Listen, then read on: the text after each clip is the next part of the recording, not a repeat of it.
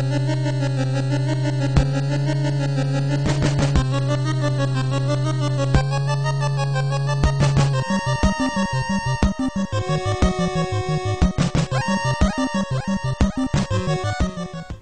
you doing, good people? This is the 8-Bit Animal.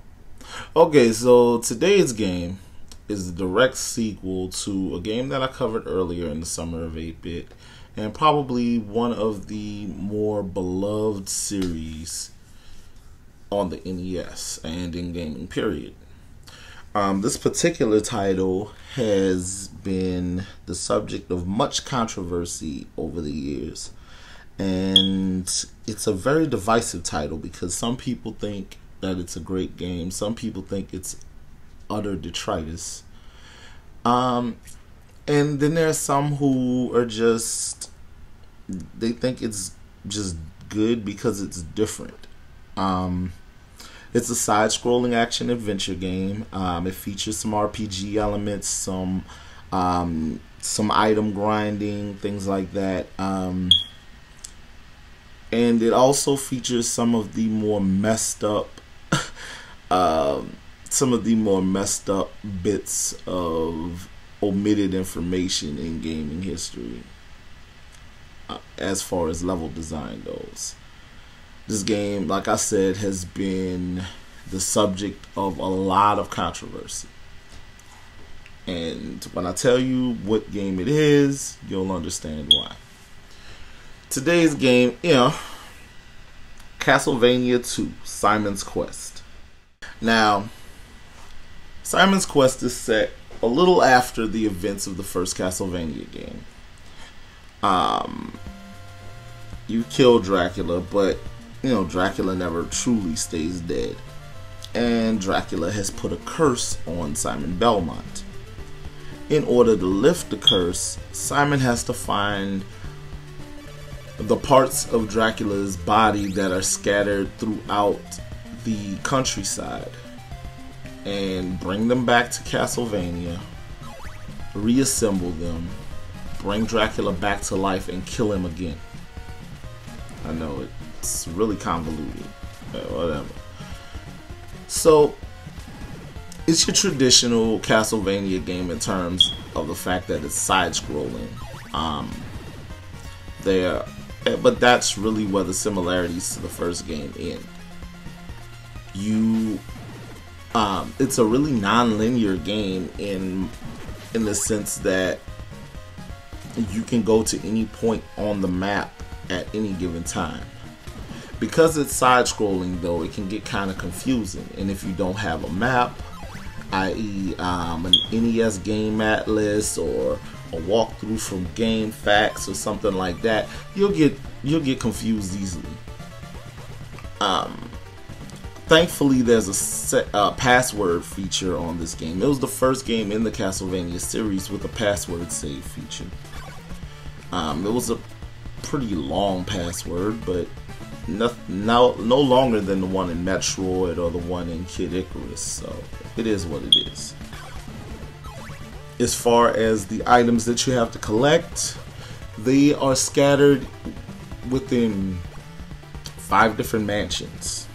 And the parts that you of Dracula that you have to find are his eye, his nail, his rib, his heart, and his ring.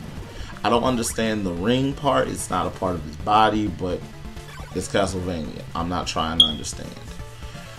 Um, there are also a huge variety of weapons that you can collect in this game. Um, different types of knives, throwing knives, um, garlic, laurels. There's a, a fireball that you can throw. Like, you can literally throw a fireball. Holy water. Um, there are no cross boomerangs in this one. There's no stop watching this one and there's no axe in this one.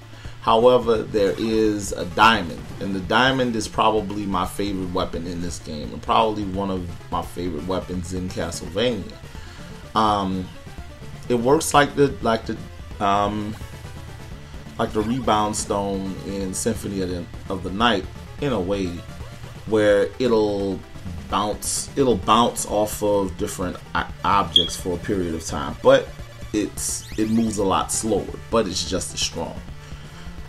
Um, there are also different types of whips. There's a flame whip, your leather whip, thorn whip, um, a morning star. You know, different weapons. Um, and this was the first Castlevania to introduce different weapon types. Now, the problem comes in because there are portions in this game that just feel unfair. Like in the mansions, there are blocks that they're trick blocks in the floor where you'll walk across one, and it'll be a false floor, you'll fall into some water and die. Um, there are trick walls where you can walk through a wall, not realize if you walk through a wall. There are uh, there are points in the game like uh, in Jam Wasteland. If you don't have a walkthrough, you wouldn't know that you're supposed to equip a certain item and kneel in front of this wall for 15 seconds. There's a, um, I believe it's Yuba Lake. You, if you don't have a walkthrough, you won't know that you're supposed to kneel at the at the edge of Yuba Lake, and it'll recede, and there'll be a stairway.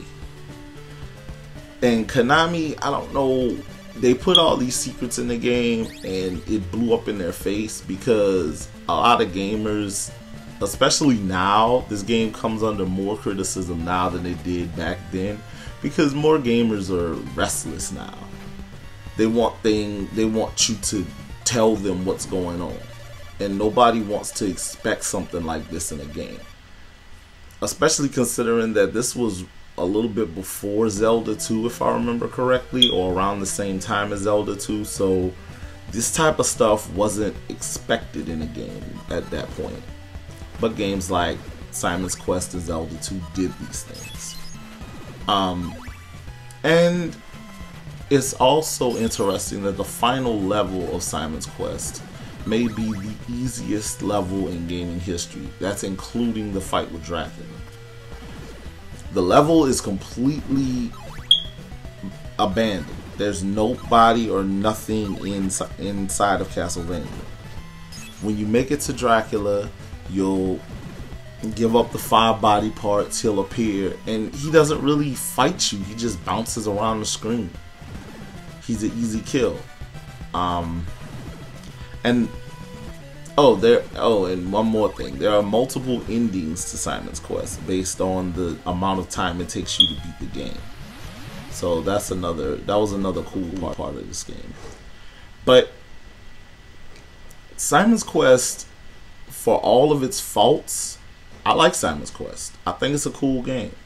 It's not my favorite in the series. That'll be um, a quarter flip between Castlevania 4 and Symphony of the Night.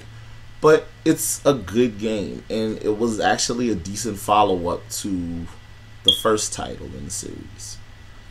And a great setup for that, that amazing prequel in Castlevania 3. This has been the 8 Bit Animal. And I will catch you beautiful people tomorrow.